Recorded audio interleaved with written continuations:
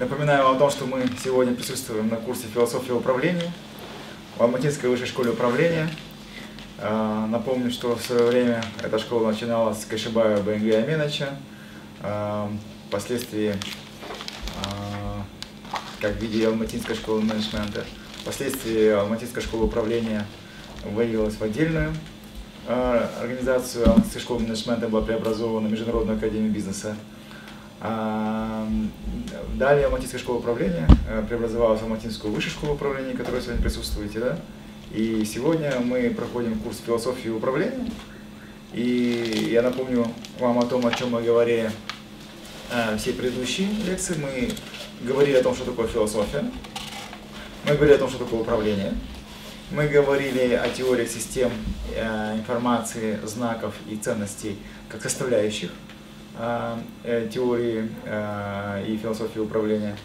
И сегодня просто хотел кратко пробежаться, прежде чем приступить к теории систем, пробежаться и э, какие-то важнейшие реперные точки установить, да? То есть, во-первых, что есть философия? Да? Мы говорили о том, что буквально это переводится как любовь к мудрости, да? А на самом деле это наука о наиболее общих, да, о всеобщих законах развития мира, существования и развития мира. И в нем есть четыре основных раздела. Понятное дело, что подразделений может быть намного больше, как ему нравится, но в основном это антология, это учение о бытии с вопросом, что же есть реальность. Гносеология – это учение о знании, да? о познании, как мы познаем, что есть знание, какое отношение оно имеет к бытию. Также есть третий раздел, это этика. Основной вопрос, что есть ценность, да? Что должно нам нравиться, а что не должно нам нравиться. Ведь не секрет, что мы этому немало посвятили как бы нам времени, что э, что-то нам нравится, да, что-то нам не нравится, но существуют ценности, да, и мы должны понимать, что это такое, и они позволяют нам определять, что должно нам нравиться, да, а что не должно. Это тоже очень важный вопрос для философии. И также четвертый э, раздел, о котором мы тоже говорили, напоминали, это учение о красоте,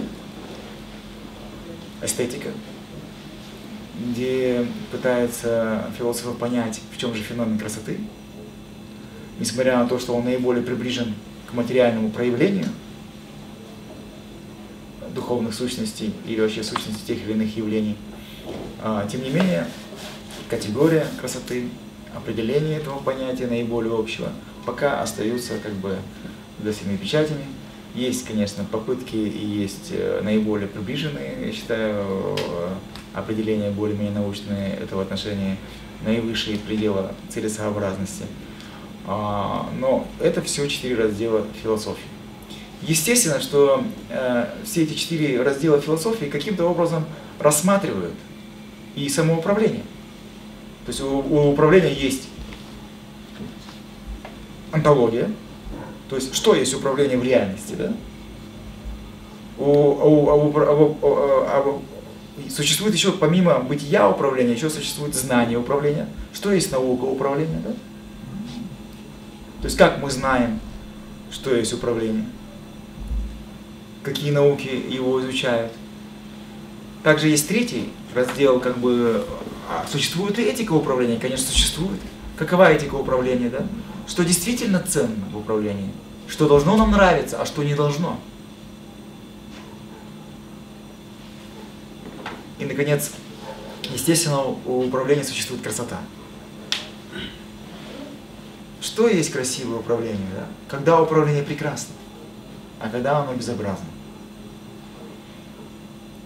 Эти все аспекты, безусловно, вы будете на протяжении всего, всей программы долгосрочной мастер управления организацией проходить. Моя же была главная задача показать вам, что есть философия, и что есть философия управления, чтобы вы получили представление о том, в каком предмете мы работаем, да, и какую роль и место этот предмет занимает во всей структуре программы. Также мы с вами говорили об определении управления, да? И говорили о том, что наиболее э, общепринятый на сегодняшний день и наиболее ну, э, как бы объективно достоверное определение, это как воздействие на систему, да, с целью изменения ее состояния. И мы говорили о большой и спорной э, составляющей этого определения. Мы говорили о том, что если мы говорим об управлении как о воздействии на систему, то мы подразумеваем сразу две вещи.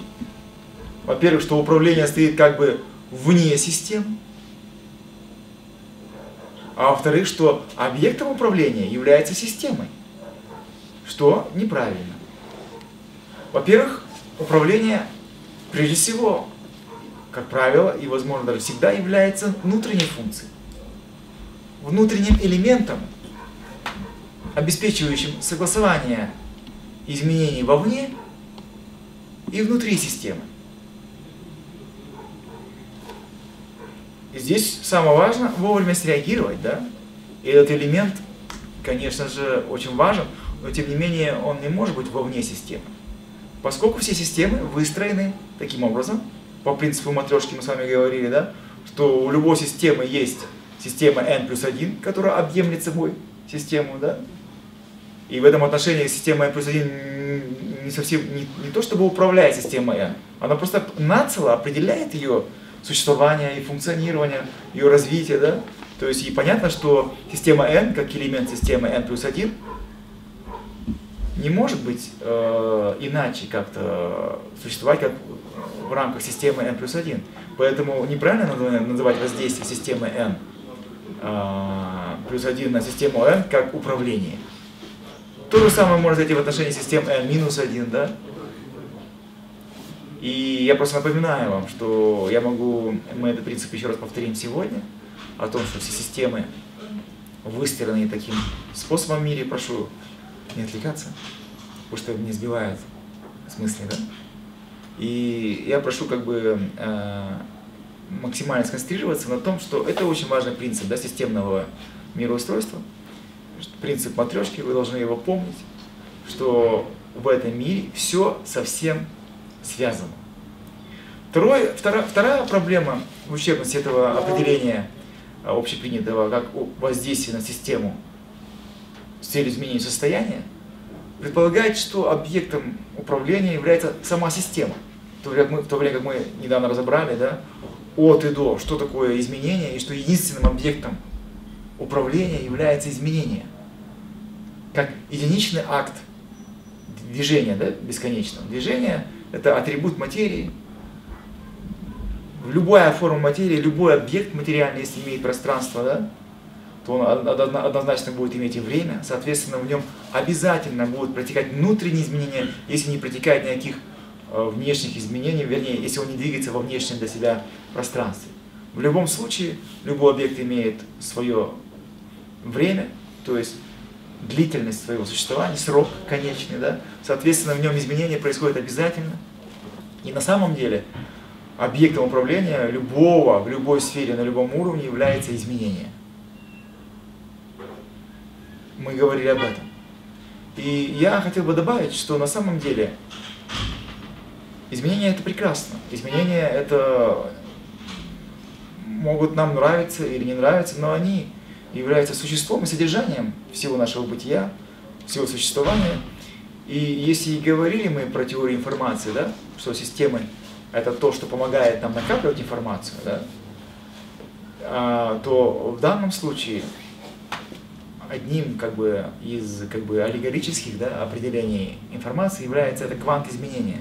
Что, чем иным является изменение как, как не информацией для нас, как систем, для каких-либо систем. То есть и мы должны воспринимать информацию, по крайней мере, как факт. И это уже любое изменение как факт, как информацию для нас. И это важный сигнал для нашего управления, да, как бы внутри нас, вовне нас. И мы должны понимать, что не, не стоит тратить время на неприятие изменения, да, поскольку оно неизбежно. И легче это изменение воспринять как информацию, что это это, эта информация есть квант изменения, и по сути дела, когда мы сегодня имеем дело с информационной революцией, мы имеем дело именно с ускорением, причем неимоверным по экспоненте накопления информации. Вот о чем мы говорили. Да? Также мы говорили о том, что, о том, что да, системы – это единая форма, которая накапливает там информацию. Информация накапливается. Но как эта информация накапливается? Она должна восприниматься, да? обрабатываться и передаваться да, между системами. И это невозможно никак иначе, кроме как через знаки. И семиотика, как важнейшее учение или теория о знаках, о символике, говорит нам о том, как эта информация кодируется в знаках, да, и передается также закодированная в знаках. Все это мы тоже будем изучать. Главное, чтобы сейчас получили общее представление да, о том, а, что есть управление, как философия рассматривает это управление. И, наконец, а, мы говорили а, еще о теории ценности, да, о том, что мы будем ее изучать в курсе философии управления. И если информация накапливается системами, в этих системах существует каждый элемент управления, то управление, это когда согласовывает да, внутренние и внешние изменения, оно согласовывает целенаправленно, целенаправленно по отношению к чему? Ценности. Это то, что позволяет да, системам как-то ориентироваться в своем управлении. То есть ценности – это образы целей и способов функционирования да, и развития систем. Я почему не ленюсь это повторять вам одно, день за днем, да? чтобы э, что-то осмыслялось вами, да? потому что каждый раз все эти постулаты, они, во-первых, понимаются лучше, а во-вторых, осмысляются по-новому. Если вы, конечно, это почувствовали, и потом мы обязательно после перерыва об этом поговорим, да, насколько вы все восприняли. Вот. И сегодняшний день, после того, когда мы рассмотрели э, и повторили все предыдущие занятия о том, что такое философия, о том, что такое управление, о том, что такое философия управления, какую роль во всем этом играет понятие систем, информации, знаков и ценностей. Сегодня я хотел перейти уже конкретно к теории ценностей, ой, теории систем, извините. Сегодня у нас первая теория общенаучная, которая является важнейшей методологической основой да, науки управления – и не менее важна эта теория, как общенаучная, чем э, философский уровень. Мы еще также говорили, когда говорили про философский уровень да, науки управления, мы говорили о том, что э, существует, помимо общенаучных теорий, которые мы начнем сегодня рассматривать, еще есть э, философский уровень. И мы говорили, помните, мы спорили о том, что такое диалектика и что такое логика. Да, мы говорим о том, что логика это наука о правильных формах мышления, о законах да, правильного мышления. Что, возможно, логика не дает нам истины, но она гарантирует нас от ошибок в поисках истины. И логика – это явление чистого разума, да, которое не подлежит никому из нас, но потому она и объективна. Благодаря ей мы измеряем мышление друг друга и договариваемся о чем-то, да? То есть эти важнейшие законы логики позволяют нам да, коммуницировать, позволяет нам обмениваться информацией. И она основана на непротиворечии. Потому что мысль не может быть противоречивой, да? Иначе мы никогда не познаем, что есть реальность. Но сама реальность основана на противоречиях. Противоречие – это источник движения. И в этом смысле без диалектики, как еще одной еще одного философского учения в области э, познания, да, в области гносеологии, является важнейшим способом мышления, поскольку оно позволяет нам при помощи логики все-таки увязывать логику э, с чувственным восприятием, которое мы пытались с вами пройти да, на тренинге личностного развития. Да? Чувственное восприятие показало вам, насколько оно противоречиво, да? насколько ваши чувства да, дают вам противоречивые сигналы, что в них необходимо разбираться. Но это же не просто так, а потому что сама реальность, которую вы воспринимаете, также противоречива. И диалектика, которая основана как раз-таки на учете противоречия, как причины самодвижения материи, позволяет нам правильно мыслить, находить истину. В этом отношении логика при помощи диалектики лучше анализирует предметно-чувственное восприятие этого мира. И мы говорили с вами, что в диалектике, как учение о развитии мира, да, есть важнейшие составляющие. В частности, важнейший тезис, или вернее, важнейшее положение диалектики – это о единстве и борьбе противоположности. Все остальные законы связаны с этим первым законом. К примеру, закон отрицания, да, или закон перехода количественных изменений в качественные, и закон отрицания отрицания, он связан с этим важнейшим законом. Без этого трудно понять этот мир. Вы должны согласиться с тем, что в этом мире всеобщими законами развития является закон единства и, борь, и борьбы противоположностей. Когда я говорю всеобщий, это значит, не существует ни одного явления, которое не подпадало бы под этот закон. Это означает, что в мире все имеет, любое явление имеет свои противоположности, и эти противоположности едины. Кому не до конца это понятно, могу напомнить про то, что мы говорили, что любое явление можно, можно рассмотреть как тезис, как антитезис и, наконец, как синтез. То есть тезис это сама идея, к примеру, вещи. Антитезис это вещь, к примеру, которая отрицает идею вещи тем, что она не полностью в себе воплощает да, эту идею вещи. И, наконец, синтез, да, это когда развитие этой вещи, да, доходит до того, что вещь наиболее полно проявляет в себе идею, да, вещи. То есть, и мы с вами провели пример с любовью, да, пример существует любовь отца к сыну, как тезис. Существует также битье ремнем отцом сына, как антитезис, потому что битье ремнем не означает любовь, да? Это как бы отрицание любви. Но когда мы понимаем, что отец не увлекается битьем в целях превосходства своего над э, ребенком, да, а для того, чтобы он учился лучше, мы понимаем, что в данном случае этот антитезис, да, просто развивает или проявляет тезис, да, и тезис становится воплощенным.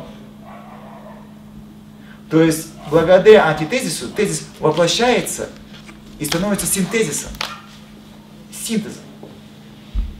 Вот так работает, к примеру, закон единства и борьбы противоположности. И мы увидим в данном случае в примере тезис, антитезис и синтезис, мы видим, что в данном случае яркий пример, а, что здесь же разворачивается закон, второй закон диалектики, да? Это закон а, перехода количественных изменений в качественные. То есть рано или поздно любые изменения количественные или количество изменений перейдет обязательно в изменение качества. К примеру, вы учите английский язык, и вам все непонятно, неприятно, да, но по мере набора критической массы слов, лексического запаса, изучения правил, в какой-то момент бах, и количество изменений, что переходит в качество изменений. Точно так же с этой программой. Вы сейчас много чего не понимаете, вам трудно, да, пробираться сквозь эти знаки, смыслы. Но в какой-то момент количество изменений, которые э, возникло в нашем взаимодействии, да, количество информации, которое измеряет эти изменения, да, будет таковым, что в вашем мышлении наступит прорыв. Возникнет озарение, после которого вы уже никогда не будете таким, каким были до обучения. Мы с вами говорили, что обучение, образование всегда приносит не то, чего вы ожидали. Да? И вот это один из примеров. Но сам переход количества изменений в качественные, это же отрицание тезиса. Понимаете, да? То есть, когда какой-то э, тезис количественно выражается, рано или поздно количество изменений что? Переходит в качество, да, и тезис как бы отрицается антитезисом. Понятно, да? И, наконец, третий закон. Это закон отрицания отрицания. Когда закон перехода количественных изменений в качественные, своеобразным образом, да, в антитезисе, отрицал тезис, да? Казалось, при переходе в новое качество, да? То есть, к примеру, какая-то идея спроецировалась в материальное пространство, естественно, с потерей информации, да? Вот. Возникло какое-то отрицание этого самой идеи, да, изначальной. Искажение, карикатура. Но благодаря количественному изменению да, вещи, благодаря развитию системы, да, накоплению информации ею, да, происходит отрицание отрицания. И антитезис становится воплощенным тезисом, синтезисом. И в данном случае я просто напоминаю это почему. Это важно, чтобы вы понимали, что такое диалектика, что существуют законы природы, законы развития природы, и они основаны на противоречиях. Так вот, логика без диалектики вряд ли сможет играть какую-то методологическую да, и эвристическую роль в вашем познании. Эвристическая роль, значит, ну, озарение, творчество, понимаете, да? Какое-то, э, какая-то работа. Вот. И вопрос чуть попозже, пожалуйста, да? И я в данном случае хотел сказать вам, что это очень важные вещи. Да? И что, что мы, еще что мы проходили по, из области философского уровня, да? методологии управления. Да? Еще мы говорили, помимо законов диалектики, мы еще говорили, что существует четыре уровня да? свойств явлений или четыре уровня явлений. Это, и это, это, это называется субординация по Канту. Был такой Иммануил Кант, который эту субординацию во всех, всем своим творчеством, не какой-то конкретной книгой, не какой-то конкретной цитатой, да, а всем своим творчеством подразумевал, что существует всегда четыре уровня явления, которые четко э, в логике отражены в понятии объема, да, по, э, понятия. Существует такое явление, как объем понятия.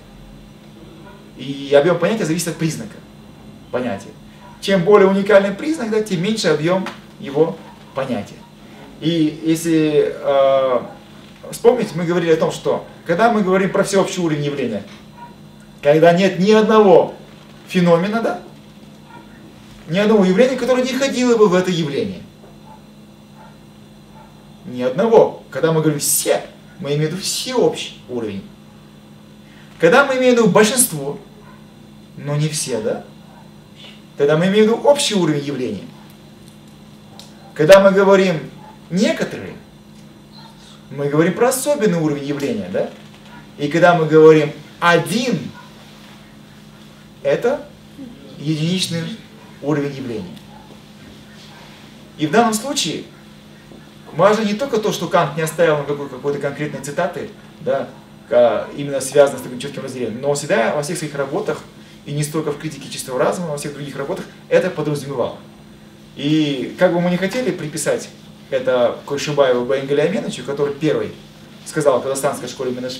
казахстанской, когда, когда формировал казахстанскую школу менеджмента, да, который первый говорил про диалектикологический подход, как бы мы не хотели приписать тому, что эта субординация принадлежит казахстанской школе управления, да, это не получится, потому что Кант это хорошо, четко во всех работах подразумевал, что существует четыре уровня явления. То есть, если мы берем этот мир, то он железно, у него есть иерархия четырехуровневая, да?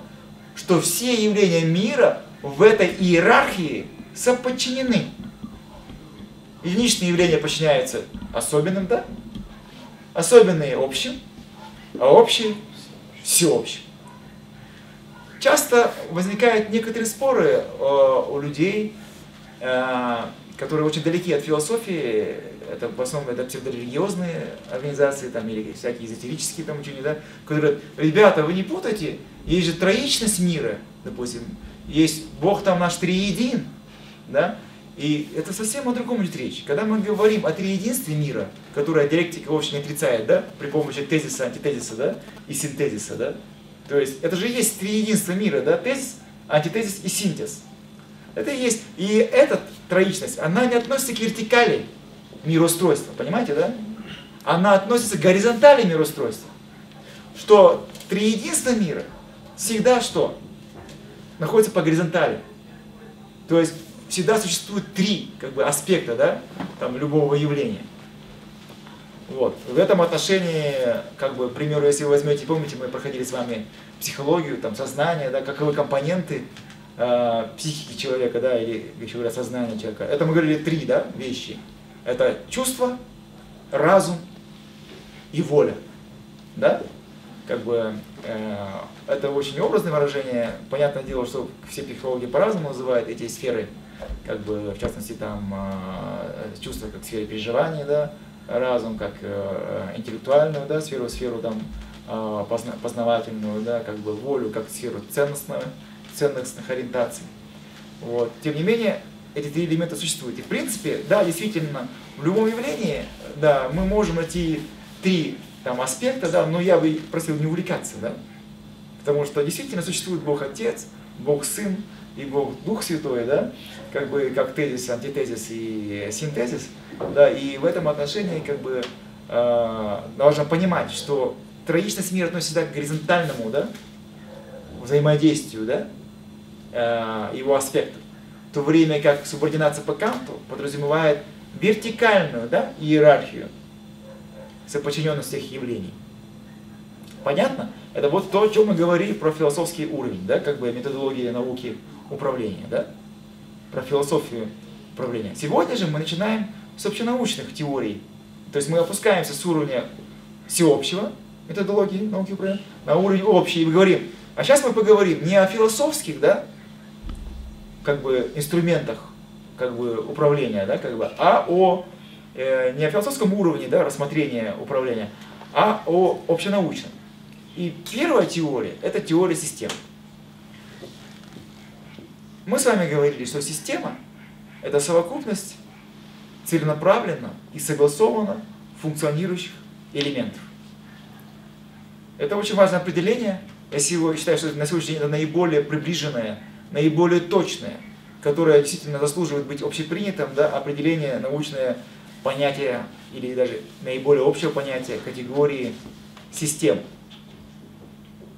Думайтесь, совокупность, то есть э, некоторые называют это целокупностью, да, и что, наверное, наверное более точно отражает э, э, явление системы. Второе, целенаправленно, да, то есть у любой системы есть цель. Нет систем, у которых не было бы цели. Дальше, согласовано. То есть, э, обязательно в согласовании существует система, да? Функционирующих элементов. То есть элементы согласованно между собой функционируют в направлении цели. Есть такое общее расхожее и тоже, я считаю, научное определение системы, как упорядоченное множество. К сожалению, принять его за основу нельзя. Ни в коем случае. Почему? Потому что множество есть антипод системы. Это оно как пустота, да, а, а, а, как бы отрицает бытие, да, так и э, множество отрицает вообще понятие системы. Потому что в этом мире нет ничего, что было бы множеством. Множество – это наше абстрактное э, понятие множеств в мире не существует. Существуют системы. Даже горы песка – это не множество, да? Это система. То есть совокупность песчинок, да, которые согласованно между собой сцеплены и функционируют, да, как бы целенаправленно и согласованно. Нет ничего, что было в этом мире, не системой. Следовательно, в этом мире любой объект, любое явление является элементом какой-то системы. И сам является системой.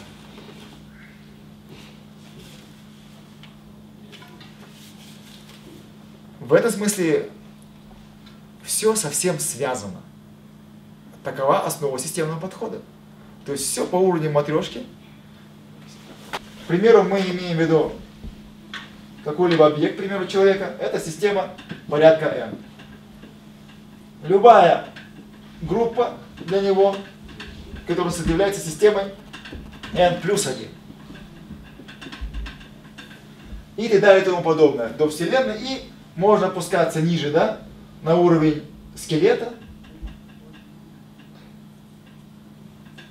Его структура это n минус 1. На уровень каких-то систем конкретных, да, к примеру, там, кровеносная, нейросоматическая, много, это все будет система n минус 2. Мы можем дойти до клеточного уровня, да? Клетка. Это будет система n минус 3. И посмотрите, у вас реально, реально нет ничего, что было бы отдельно друг от друга. У вас все во все входит, понимаете, да? И все совсем связано.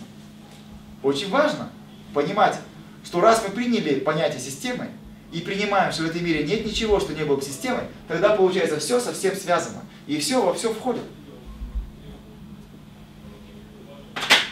И когда мы говорим про иерархию, как важнейшее да, качество мироустройства, да, к сожалению, от этого деться некуда. Я понимаю, что некоторым не нравится иерархия. Чтобы было бы здорово, все было горизонтально, да? Но, к сожалению, это невозможно. Почему? Потому что по горизонтали мы имеем дело только с элементами, да? А по вертикали мы все равно будем вынуждены, да? Иметь дело э, с тем, что эти все элементы входят в какую-то единую систему, которая сама является элементом другой системы, более высокой. То есть иерархия это не прихоть чья-то. Иерархия это основа мироустройства системного этого мира. И когда мы пытаемся сделать двух генеральных директоров на одном предприятии, да, это нарушение, да, это системная иерархия, да, мироустройства, да.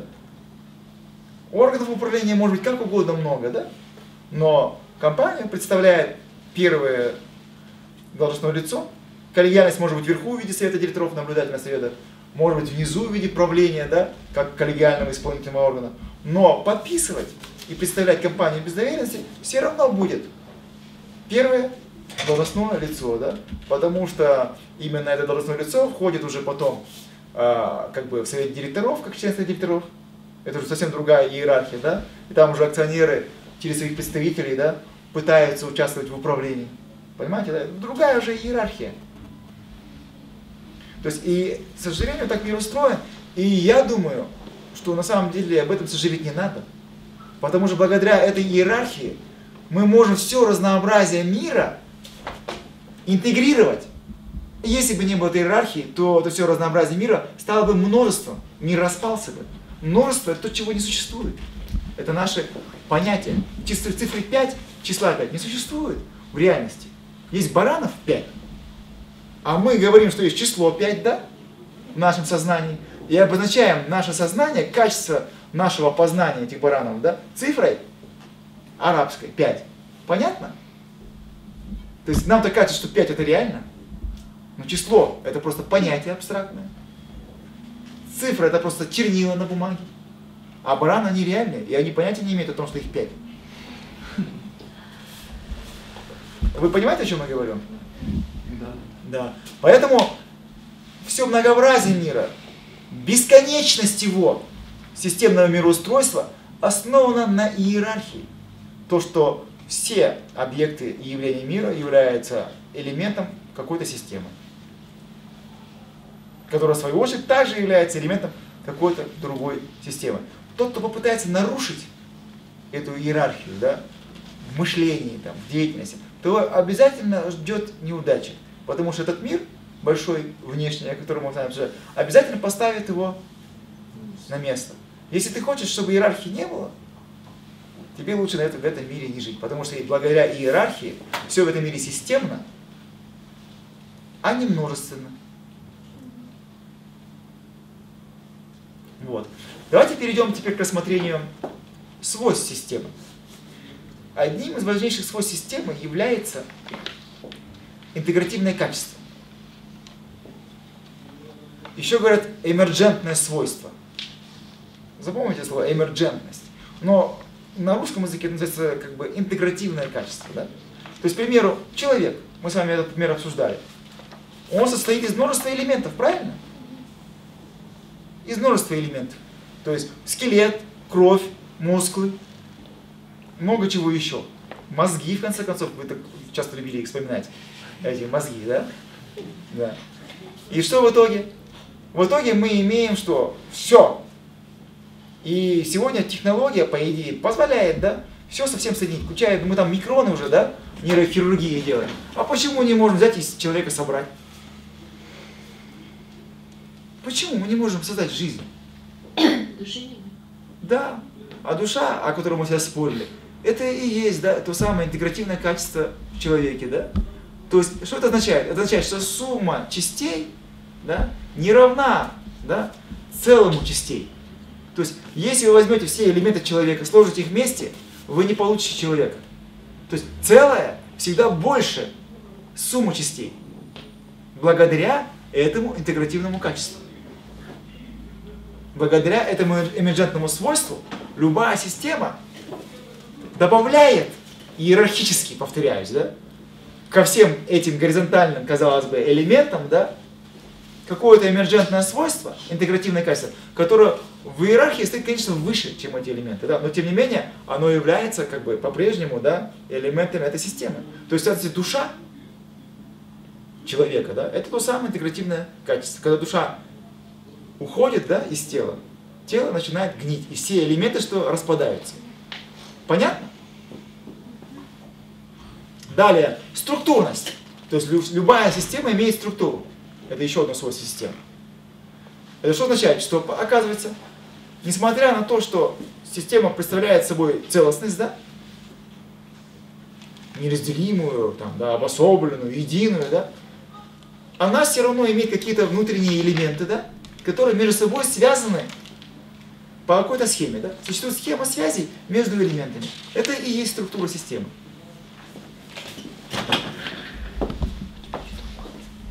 Примеру, вода. Система. Система. Вот ее структура, да? Правильно нарисовал? Да. Или вот так? Кто помнит? Химию. Организм. Нет, сначала как было до этого. Да, да. Правильно. Хорошо. Итак, мы с вами пришли к тому, что вот структура воды. Когда кто-то кому-то это все тяжело, он говорит, он окей, H2O. Да, это уже, кстати, примерно как число, количество, да, и как цифра. Понимаете, да? Это просто обозначение, да, этой структуры. Знаковое обозначение, да, этой структуры. Но сама структура, на самом деле, это всего лишь наша схема.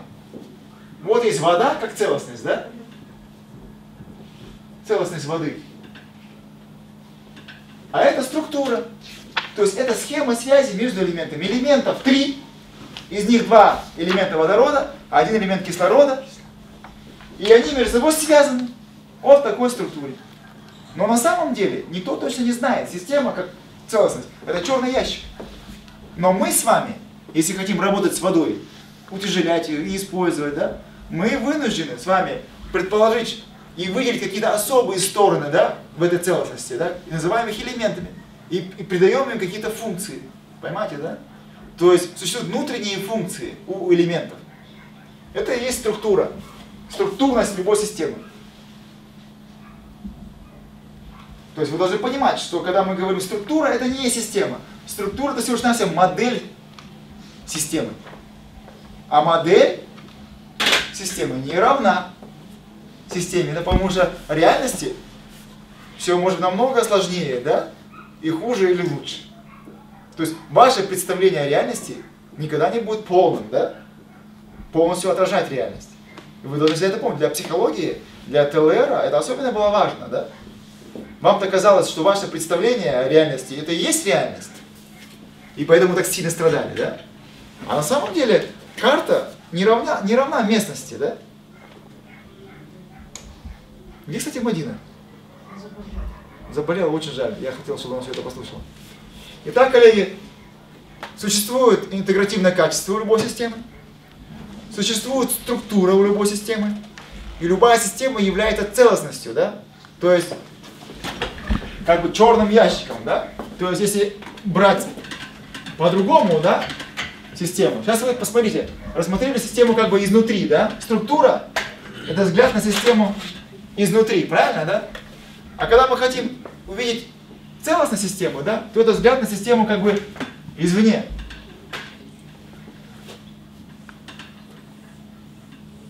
Представим себе, что здесь система, да, есть какой-то определенный черный ящик. Нам неизвестно, что внутри системы, да, мы только можем предполагать, что у нее есть такая-то структура. И мы видим, что в систему информация что, входит, да? И что еще делает? Исходит, да? Информация. То есть здесь мы называем данные, данные попали в систему, система данные обработала, да?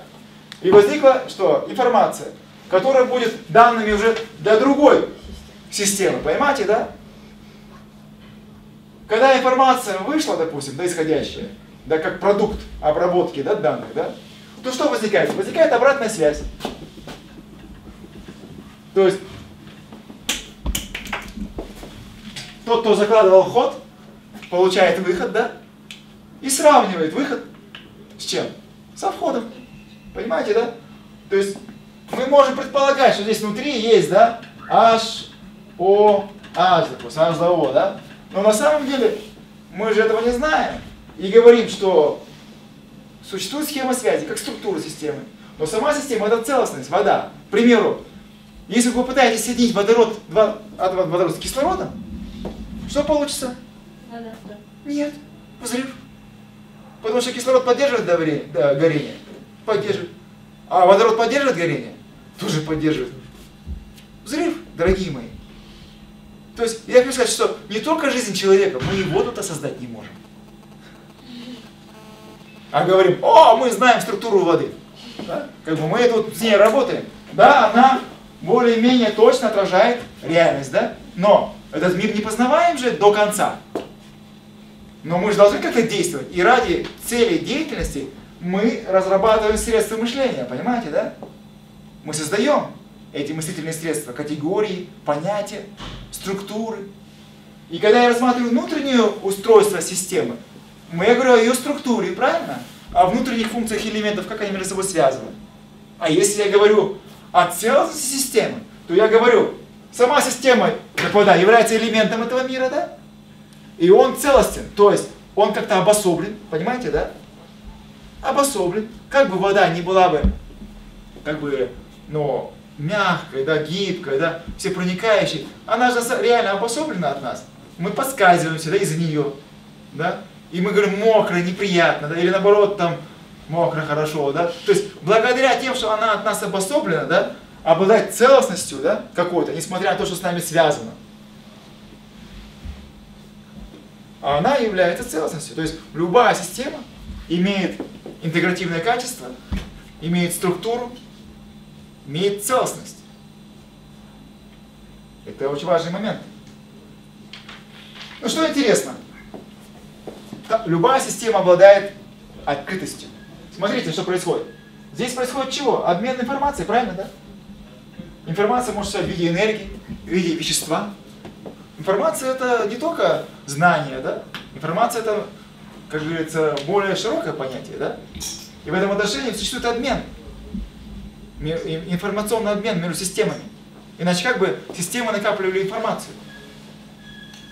Так вот, из этого следует, что открытость является всеобщим свойством систем. Нет ни одной системы, которая была бы закрытой. Как только система что закрывается, что с ней происходит? Нарушается информационный обмен, обмен информацией. И система что? разрушается как целостность. Теперь вы понимаете, почему, когда вы закрываетесь лично, да, как э, существа живые, да, вы тоже система же, да? Как только вы перестаете обмениться информацией, обида, ненависть и прочее, да, что происходит что? Саморазрушение. Понятно, да? Почему вам плохо? Потому что система кричит, допустим, да, не понимает, что происходит, допустим, да, как вы так с ней поступаете, да? А вы как элемент управления внутри ее, да? Как бы тело на самом деле намного же больше вас. В вашем психике, мы уже говорили, да, присутствует не только ваше бессознательное сознание, еще и чужое бессознательное, да, и все, и коллективное бессознательное. Понимаете, да? И много чего другого, да, накопленного человечеством, да? Да, это намного больше, чем вы. Вы намного больше, чем вы себя осознаете. Понимаете, да? И система что, скрипит, скрежещет, потому что вы, как элемент управления, да, который взял на себя эту, что, закрыли систему, все заслонки закрыли. До свидания. Никого не хочу видеть, да? Все отрубили, а потом опомнится, поздно уже, да? С кругом стены закрыты, цепи на руках, допустим, да? Ты уже, а, а вы знаете же, человек, попадая как бы а, в изоляцию, я вам говорил, да? Как начинает паниковать. Сутки проходят, он уже, ведь что делает вот за, у любого, спросите насмотрщика в, в тюрьмах вообще, о чем просит человек, да, когда вообще когда кто-то к ним приходит, да? Они, они благодарят, что с ними поговорили. Понимаете, да? Они за это благодарят страшно, потому что это невозможно. Помните, мы с про проблему одиночества как проблему э, человеческого существования. Допустим, да? То есть это же не просто так. Это не потому, что мы такие люди, стремимся к общению. Социальная природа людей такова, да?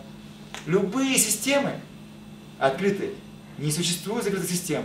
И даже когда мы говорим про термодинамику, да, про второй закон термодинамики, про потерю тепла, да, и, э, и как бы э, накопление энтропии, да, то есть дезорганизованности, да, потерю тепла, да, тепловую смерть Вселенной, мы предполагаем наличие закрытых систем. Это наше предположение. Но в реальности это системы не закрыты, поэтому тепло все равно, что возникает, приходит, мы обмениваемся им. Понятно? Вот. Поэтому открытость это важнейший фактор да, информообмена. Да? И все системы являются открытыми. И любая закрытость приводит к смерти системы, неважно какая она, материальная, духовная, живая или неживая. Понятно?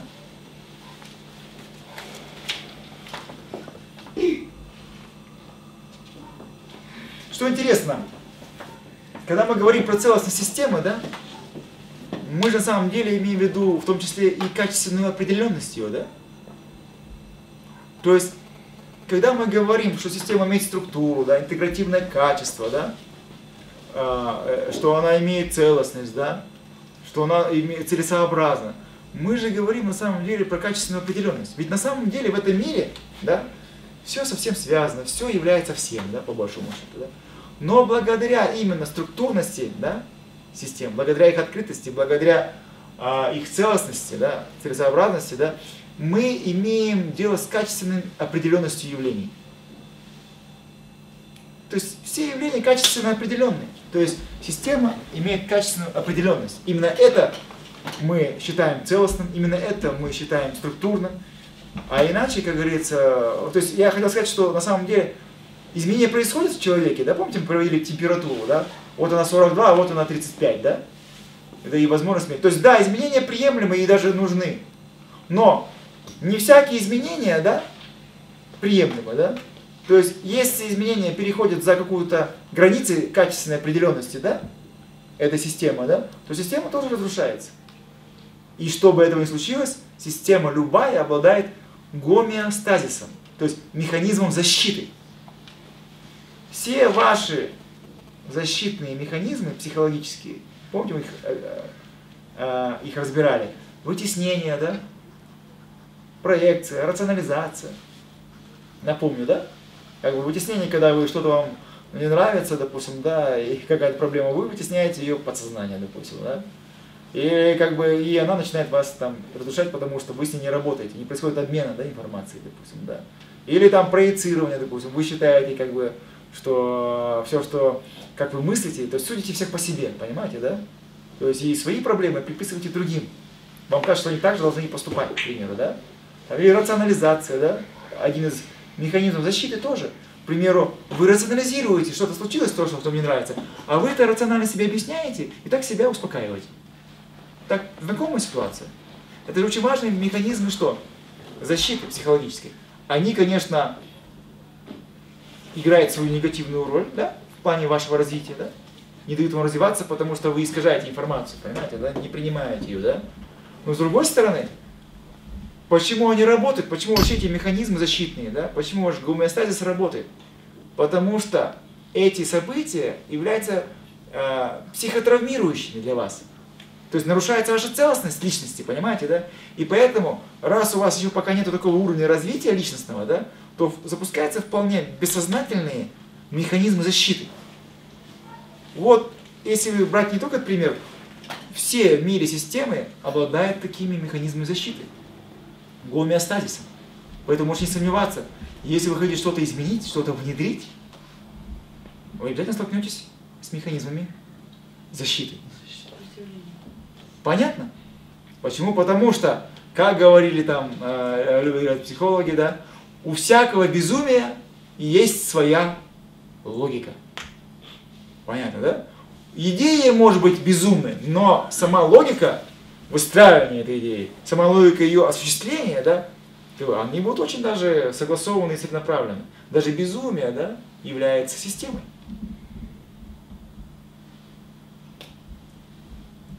Даже несистемное действие, которое вы производите, да, обладает системным эффектом. Примеру, вы помните эти комбайны огромные советские, против которых все выступали, кто постарше, я не помню, да? Говорили, как неэффективны эти советские большие комбайны, да, и вообще это гигантомания, все прочие прочие дела, все это настолько несистемно, да? Что сделали? Одним махом, как говорится, отказались от этих больших советских комбайнов, да, когда началась перестройка и после. И что в итоге? В итоге получили огромный ущерб для сельского хозяйства. Почему? Потому что, конечно же, эти комбайны неэффективны. Но они уже создали свой системный эффект.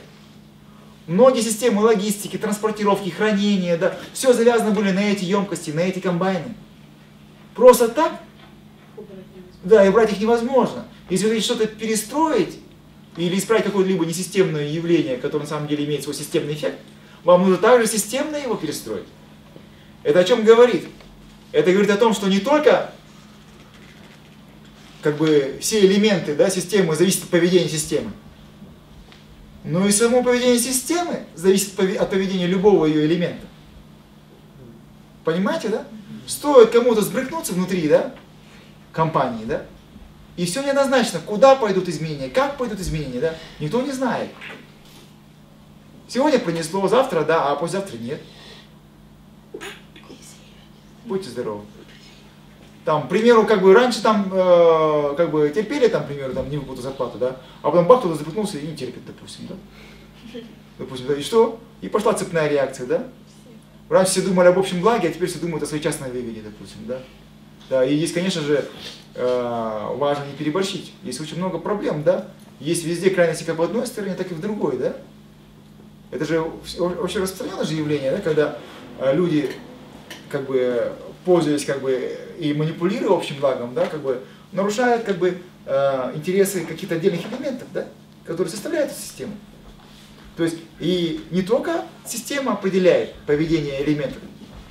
Системный подход говорит, что и элементы тоже определяют систему. И изменение в поведении одного элемента изменяет поведение элементов в других системе. И в той самой системе тоже. Понятно? Это мы какие свойства перечислили? Интегративное качество, да?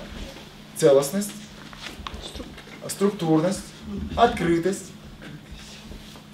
Еще один важный элемент, э, вернее, еще одно есть важное свойство систем, да? Как ни странно, конечно, да, это с этим можно спорить, но это свойство называется самоорганизация. Системы, оказывается, самоорганизовываются. И, наверное, это неудивительно. Почему? Потому что если мы говорим, что движение это неотъемлемый атрибут материи, хотим мы этого, не хотим, управляем мы, не управляем, системы будут двигаться. Что внутри, что вовне, да? Соответственно, мы будем иметь дело с изменениями элементов внутри системы, да? с изменениями связей между этими элементами. И в этом смысле я просто напоминаю вам про возможности и ограничения управления. Помните, мы говорили о том, что что действительно возможно, а что невозможно. Чем возможно управлять, а чем невозможно управлять. Да? Мы с вами показали реально, что управление сознательное да, очень сильно ограничено да, в своих возможностях. Да? Тем, что существуют объективные законы функционирования и развития систем. Так вот, системы, они самоорганизовываются. Если вы даже не будете управлять, самоорганизация в системах будет осуществляться. И кто знает, порой самоорганизация эффективнее, чем организация. То есть порою, э, э, как бы, когда э, управление уже чересчур ну, испытывает ну, пагубную самонадеянность на свой разум, да, и когда сознательное управление явно вредит, как бы, да, как бы спонтанная самоорганизация, да, систем, да, то здесь есть свои проблемы. И порою именно управление отделяясь, выделяясь из системы, вставая над системой, разрушая систему, потому что перестает быть внутренним элементом системы. Поэтому самоорганизация – важнейшее свойство системного мироустройства.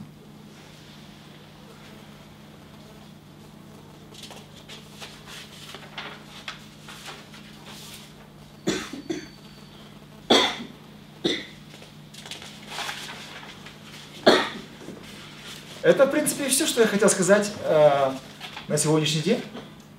Я надеюсь, что у вас будут какие-то вопросы да, до ухода на перерыв. Есть какие-то вопросы? Про, можно вот про отрицание отрицания? Чуть-чуть такой сложный пример был. Mm.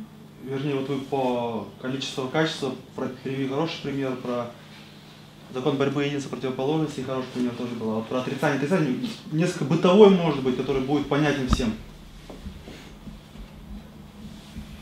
Он совсем сложно был пониманию. А какой я пример привел? Вы про отрицание отрицания, там что антитезис, там тезис. от, этот, э, отрицал сам тезис и потом. Ну помните, мы. А синтезис он отрицал отрицание, и поэтому они в конечном итоге я, на выходе сын, якобы избиваемый отцом ремнем, там, например, да, он это делает для того, чтобы там тот хорошо, там, хорошие оценки получал. Но все равно чуть скомканно получилось. Может быть, какой-то другой есть пример? Ну, пример, вот помните, вы ко мне приставали по поводу того, что плюс бесконечность да, равно минус бесконечности. А я говорил, нет, не так. Потому что логически я никогда не соглашусь с тем, что плюс бесконечность равен минус бесконечности. Что абсолютно полное бытие равно абсолютной пустоте. Допустим, да? То есть это не равно. Но Куаныш за вас заступился, помните, да, и начал говорить о том, что, ну как же так, мы же по спирали развиваемся, мы же возвращаемся все время на исходную позицию, да? А я говорил, да, возвращаемся, и поэтому существует как бы аллегорическая змея, которая пожирает свой хвост. И в этом смысле как бы происходит как бы самозамыкание универсума, да, как бы все существует как бы само по себе и в себя возвращается, да, но мы говорим же про развитие, про развитие по вертикали, следовательно, никогда змея не съест свой хвост, потому что она все время будет заверчиваться вверх. То есть мы будем возвращаться на исходный пункт, но уже на новом уровне. И когда мы говорим про отрицание отрицания, мы говорим, что мы возвращаемся на исходную точку, но уже на совсем другом уровне качественного уровня развития, понимаете? Там в совсем другом качестве уже. То есть вначале как бы там мы как бы отрицали любовь своим битьем, да, а потом мы отрицали битье свое тем, что наш сын, допустим, да, э, стал большим человеком, да, то есть и битье, которое было применено с любовью, да, оказывается, не есть собственно говоря, не любовь, про которую мы думали. То есть в данном случае синтезис отрицает антитезис и как бы возвращается к тезису. Когда мы говорим отрицание отрицание, мы просто говорим про возврат на исходную позицию, но в более полном, да, воплощенном варианте. Если тезис был чисто духовен, то синтезис или синтез уже не просто духовен, это единство и материального, и духовного. То есть, когда мы говорим про отрицание отрицания, мы говорим про завершенность процесса развития. То есть процесс развития начался с, с противоположности, с их борьбы. С отрицания одной противоположностью, исходной противоположности. Но в конечном итоге развитие пришло к своему исходному пункту, и в этом смысле оно завершилось. То есть завершение развития и есть отрицание отрицания. Понятно? Ну вот в учебниках по логике мы все время вот этот пример с э, пшеном, там, которое проросло зерно, стебель, и там падает, отрицает сам стебель, чтобы потом опять стать этим растением. Вот это чуть Отрицание отрицание очень трудно понять. Ну, мне не совсем нравится этот пример, но я его приведу, ну, попытайтесь понять тоже. Вот зерно, допустим, да, оно начало жить, правильно, да? Прорастать. Появился колос, правильно? То есть, как бы, то есть зерно это просто тезис, правильно? Как бы колос, э, как бы там, да, колос, как бы там, да, это получается уже антитезис, да, допустим, уже как бы развитие происходит, да, этого зерна в жизнь, в отдельный, в отдельный отросток, да. А потом бабах, и колос исчез, почему? Потому что все зерна рассыпались, упали на землю, допустим, да, и колоса как, как целостности больше нет, да. Но смотрите, вроде бы, казалось бы, распадение колоса есть отрицание, да, колоса, но это отрицание отрицания. То есть теперь вместо одного зерна изначально исходного тезиса появилось огромное количество зерен, да? Угу. Понятно теперь? То есть это не возврат в исходное положение зерна, а это возврат в это исходное на новом уровне, На новом уровне. 10 раз больше этого зерна. Вложил деньги одни, как говорится, э, тратил, тратил, тратил, тратил, да, отрицал, отрицал, отрицал, да, исходные позиции, да, как бы кассовые остатки в начале, да, все волновались, волновались, возмущались, возмущались, а потом бабах, да, и эти деньги вернулись в виде доходов, допустим, да, умнож, которые умножили изначально вложенные деньги. То есть затраты отрицают вложения, да, но затраты генерируют доходы, которые отрицают как бы затраты.